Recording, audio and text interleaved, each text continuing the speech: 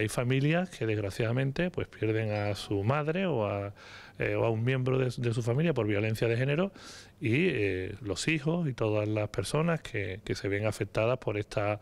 este drama pues necesitan apoyo psicológico, necesitan eh, apoyo económico, necesitan asesoramiento y yo creo que eso no se le puede negar absolutamente a nadie. Y si Vox va en esta línea, tenga por seguro que Ciudadanos lo va a tener de frente. ¿no?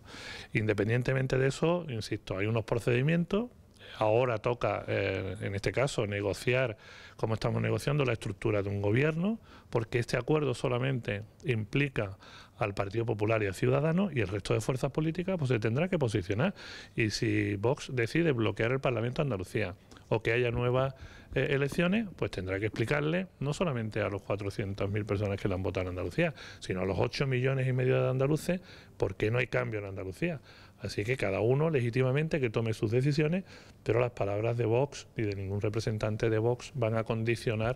eh, en ningún momento la posición de Ciudadanos, que es negociar un acuerdo para que haya un gobierno con 47 escaños que nos respalden en el Parlamento de Andalucía y donde después se busquen los apoyos necesarios para sacar adelante cualquier ley, eh, cualquier eh, los presupuestos o cualquier eh, decreto o cualquier iniciativa legislativa que habrá en el Parlamento de Andalucía. Y estoy convencido